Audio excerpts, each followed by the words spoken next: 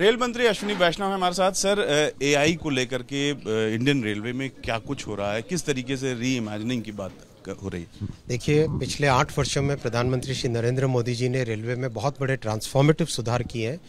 Passenger experience में बहुत बड़ा फोकस आया है। उसी कड़ी में टेक्नोलॉजी का उपयोग करके किस तरह से हम पैसेंजर्स को बेटर सर्विस प्रोवाइड कर सके, उस पर काम चल रहा है। एक एक्सपेरिमेंट अभी हाल ही में पायलट एक्सपेरिमेंट हुआ है, जिसमें करीब 10 या 12 ट्रेन में ये सिस्टम लगा। मान लीजिए किसी पैसेंजर को कंफर्म टिकट नहीं मिला, लेकिन वो अंदर जाता है ट्रेन में देखता है कि कुछ सीटें अभी भी खाली थी, क्योंकि चार्टिंग का एक प्रोसेस है। अब उस चार्टिंग वाले प्रोसेस में एआई जब लगाया गया, वो एआई का उपयोग किया गया तो करीब करीब कंफर्म टिकट 22 प्रतिशत ज़्यादा मिल पाए। तो इस तरह की बहुत सारी संभावना है एआई का उपयोग करें क्वांटम का यूज़ करें।